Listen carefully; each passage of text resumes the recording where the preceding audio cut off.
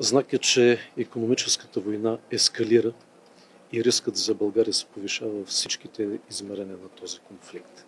Не случайно отдавна призовавам за внимателно и отговорно отношение на България към този конфликт, който влияе пряко и за живота, и за благостоянието на българите, както тук, особено и на българите в Украина.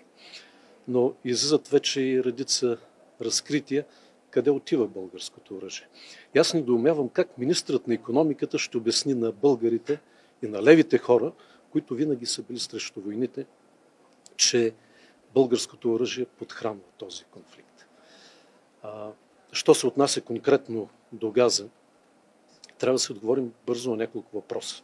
По-точно правителството трябва да отговори защо само на България и на Польша се спира газа. Спира ли се на Австрия и Германия, да речем, те как плащат и как гарантират а, своята енергийна сигурност. А, също така, резервиран ли е достатъчно капацитет за доставки от Гърция и от други страни? Защото ако не е резервиран, ние ще видим вече да загряват, както говорих преди време, посредници.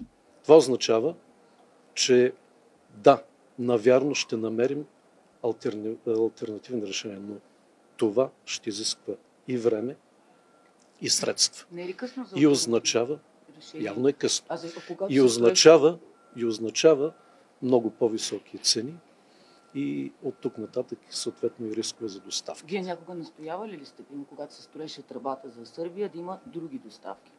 Многократно съм настоявал и многократно съм твърдял, че тези 3 милиарда, платени от нас, от нашия бюджет, не обслужват българският интерес. Те обслужват интереса на други държави, които безплатно транзитират газ през наша територия.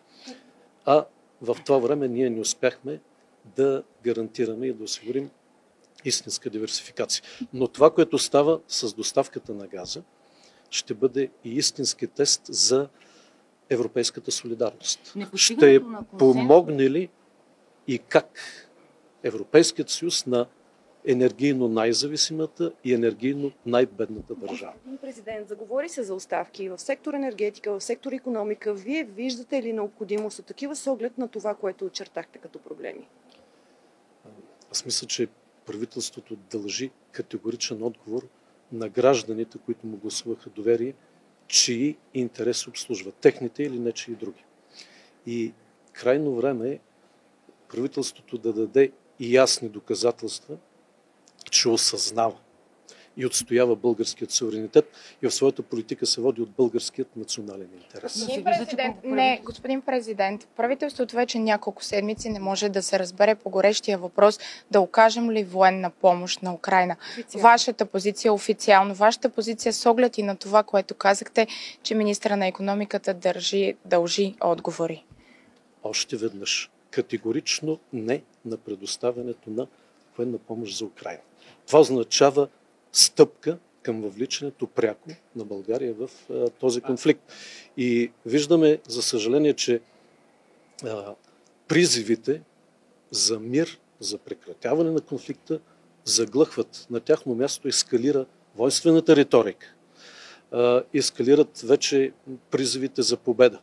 Но нека да сме наясно какво означава и самата победа, защото следите какво каза и Вацлав Хавел наскоро. Ако победата означава самоунищожение и економическа ликвидация на Европа, то аз мисля, че ние стремително вървим в да тази може правителството да работи в такава коалиция, без никакъв Последните консенсус. два дни има директна и индиректна атака срещу България.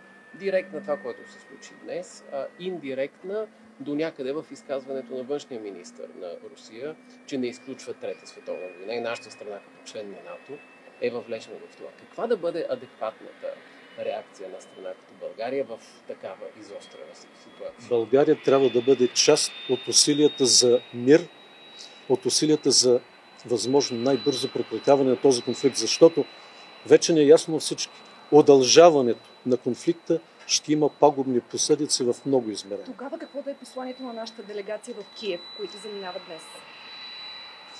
суверенната българска позиция се изработва в София, а не в Киев. И аз мисля, че няма нужда от едно такова посещение. Дарите Радев, ли но за мнозинството това в да- парламента подкрепя да дадем военна помощ на Украина. Вие сега толкова категорично го заявявате, че сте против, но е Нека постигането чуем- на консенсус не е ли заплата чуем- за България на първо Нека чуем дебатите в парламент.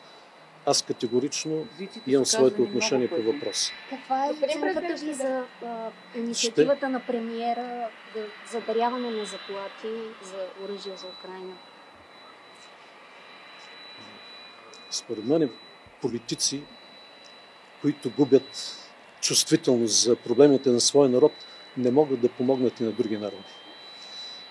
Аз съм дарявал свои заплати последния път за е, бедстващите пенсионери от Виденско в началото на пандемията COVID-19. Дарявам редовно по инициативата Българската коледа за забравените от българското здравеопазване деца, за български църкви, за българската култура и призовавам българските политици преди да спасяват света, да погледнат и към хилядите бедстващи българи.